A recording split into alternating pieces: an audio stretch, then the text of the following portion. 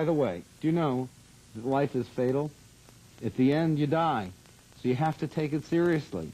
And it starts with taking your feelings seriously, and it starts with you taking the fact that you have value seriously. If you don't value yourself, no one else is going to.